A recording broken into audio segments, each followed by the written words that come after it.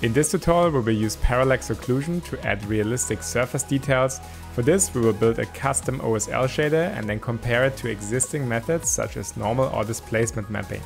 So parallax occlusion tries to mimic a displacement map without actually subdividing and displacing the geometry itself. So everything is just done through the shader. You can see the result in here where we have all of those stones here on the floor and they really fit exactly to our camera perspective and some of the stones are even occluding the stones behind them.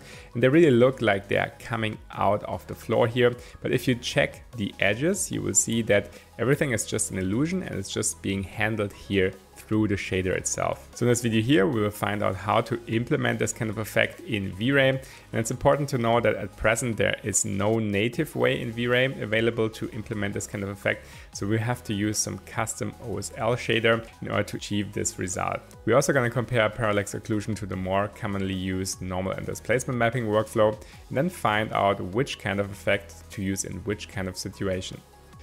So let's start first by gathering the required resources and since V-Ray out of the box doesn't really offer a way to add this parallax occlusion mapping, we need to download a custom OSL. We're gonna do that through racoon-artworks.de where you can download this nice OSL shader here completely for free and I will also put down the link in the description below. Additionally, we would need to download a texture set and for this I'm gonna use Quixel Bridge here and there's a own dedicated video about how to use Megascans asset if you're interested but we need to download a texture set that basically includes at minimum a normal and displacement map and then also ideally a diffuse map of course and a glossiness roughness map in order to get a nice and convincing result. So in order to compare our parallax occlusion effect, let's first build a more standardized normal and displacement shader, and then let's see how those two compare. So for this, I already merged in all of the textures that come from Megascans. We have the color, normal, roughness, and displacement map in this case. And what's important to know is that this color space transfer function always need to be set to the correct type. So for the color map, that should be set to sRGB. then for our data-driven maps like normal, roughness, and displacement map, those should all use the none type in here. Then also additionally, and that step is optional, I just put this filter multiplier to 0.01 in order to keep our textures pretty crisp while we're rendering, that we don't have some additional filtering happening on the texture itself. So now we're ready to connect those textures into this shader. And I just added some reflection and an IOR of 1.3. And now let's connect the diffuse map and then also make sure because we use a roughness map that our shader here uses the roughness. And then just connect this into the roughness slot in here. And now we have already something basic set up but what we're missing is all of those surface details. So if you check the normal map we have just a complete flat planar map in here. And this we're gonna first change by using a normal map. So the normal map we have to connect through a V-Ray normal map node then just put this into the normal map. And since we're using assets from Megascans, we also have to flip this green channel. If you want to find out why, you can check that out in my Megascans asset tutorial. Then we will connect this into the bump map slot and then also make sure that the bump map here uses a value of 100 in order to show the normal map correctly. So now if we want to check the normals in our render elements, we can see we have this additional surface detail now brought in by the normal map, but very fast you will hit a limit of what you can achieve with the normal map because in these kind of situations where you would expect like a huge difference in height between these stones and these kind of gaps in here and it should look like these stones are really coming out and by this way they are covering some of the stones behind it a normal map can never really get you this kind of result. So I can try to increase the bump map strength here to the maximum value of 1000. But you will see the bump effect just gets stronger, but we don't really have the appearance that these kind of stones are really coming out of the surface. Let's put this back to the value of 100 and then let's discover how we can use uh, a displacement map in order to generate this kind of result. Now let's also disable the bump map completely because let's first try to get all of the details using the displacement map. And for this I just select my geometry and I already have a V-Ray displacement modifier here placed on it. Let me enable this. And at the moment, nothing is happening because I first need to set up the correct texture. If you want to know more details about the V-Ray displacement modifier, there's also own dedicated video in my channel that goes into much more detail. So here let's keep it very brief. I just disable the filtering and then I just put the correct amount in this scene here. And then let's also connect here the displacement map into the displacement modifier. Once we do that, we can see that now we have a whole displacement effect going on where here on the edge we can see that these stones are actually coming out and these kind of gaps are being pushed in. And I think we get a quite nice result like this. If we want to, we can also combine both approaches. We could add back our normal map. Like this, we will have a little bit more detail going on. If you check here, the stones in combination with this additional normal map, there's a little bit more detail. So if you want to, you can also combine both of them together. You can also blend the strengths here of the normal map. Like this, I think you can get quite a nice result. So now let's build our parallax occlusion shader and then compare it to this kind of normal and displacement mapping workflow to see what kind of result we can get.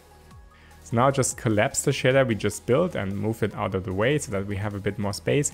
And I created a new material that has the same kind of basic properties like this one, but it doesn't have any maps connected to it. Also disabled the displacement modifier, of course, so we can start from the same starting position as the previous shader. So now let's open the OSL map, which we downloaded previously. And this can be done here under the Maps General OSL map tab. And then inside here, we can load the parallax occlusion map. Once we do that, you can see those settings in here change. And we can now start to connect this in the correct way into our V-Ray material. But first, we also would need to add the height map. We can load that into the slot here. And here I'm just choosing the displacement map that we downloaded with Megascans. So using this height map, this OSL code is able to do some transformations on the textures that we will feed into this shader. But since this here is an OSL code, we can't really use the common V-Ray bitmaps. We would need to use also OSL maps in order to be compatible with this snippet of code in here. So the way to do that is to use these maps OSL and then this bitmap lookup node. And then in here we can start with loading our texture nodes. So let's start, for example, with this color map. Let's just rename this here to color. And then also make sure that we use this auto gamma option for our color map. And then we load the other textures, for example, here, the roughness map. And let's make sure that for the roughness map, the auto gamma option here is off and then let's load the map itself and it has to be off because the same way like here this one is a data driven map so we don't need to apply any additional gamma correction to it and the same is also true for the normal map which we're also gonna add now and here we also don't need to have this auto gamma option here turned on now we need to connect all of those texture maps with our parallax occlusion OSL here. The way to do that is to connect here the UVW output with the UV coordinates of each of those texture maps. And then once we do this, we first have to add also a V-Ray normal map into here and then connect this one here using the color RGB into the normal map of this V-Ray normal map slot here. So now our whole texture network is set up and we only need to connect all of them here to our shader. And here we just take the color RGB connect this to the diffuse map. Here we will take the normal map and connect that into the bump map. And here we will also use the color RGB and connect that into the reflection roughness of our shader in here. Now let's start the rendering and see what kind of result we will get. And at the moment it doesn't look like much because the effect is initially very subtle. But if we go into this OSL, we can choose a different depth scale in here. So let's choose, for example, a depth scale of 20 And then we will start to see some kind of effect already and it looks like those stones are now coming out of the floor and they are occluding some of the stones behind them. If we go to much higher values, the effect becomes even stronger. But now we start to encounter some kind of render issues here. And it looks like there's some strange slices that are happening here.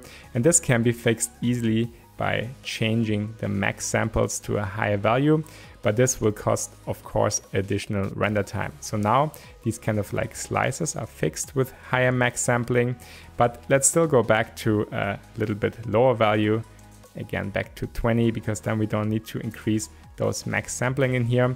And I think like this, the effect already looks quite convincing. We can then deactivate our parallax occlusion mapping and here we see how the result would look like using just an ordinary bump map. And now if we enable this parallax occlusion effect, you can see that the result just looks much more realistic. So since it's purely shader driven, of course, the result is still an illusion. You can see here on the edges, for example, that the surface is not really being displaced, of course. And also here on the shadow, the shadow doesn't really seem to follow the shape of the stones. It just basically follows a completely flat surface and it's not really bent or affected by these kind of stones that come out of the floor. If we look closely, there is still some kind of steps in here, so let's increase the max sampling to something like 64 in order to get rid of those. So now let's discuss the question on whether this here is the better normal map or not. So as usual, the answer is it depends. So if you compare just from a quality aspect, of course, this kind of parallax occlusion mapping can give you a much more realistic result than just using a normal map by itself. But the more interesting question is to compare it with the displacement map. And here I have two images. So this one is using the displacement map and this one here is using the parallax occlusion mapping. And I think both of them look nice. Of course, the one with the displacement mapping looks better because we have also the actual displacement here going on and the shadow is affected. So now the interesting question is which renders faster and you would assume that the one using the fake effect, the parallax occlusion effect, renders much faster, but actually the V-Ray displacement modifier renders an incredible five times faster than the one using this fake effect, this parallax occlusion.